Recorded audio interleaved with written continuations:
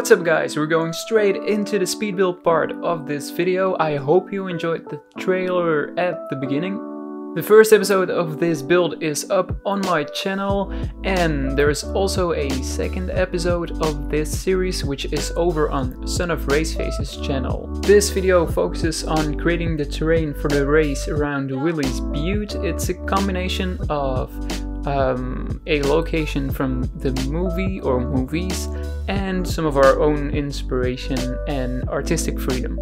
As always, like the video if you enjoy, subscribe if you haven't already, and leave a comment of what your favorite part of this build is. I'll see you in the next one. Bye.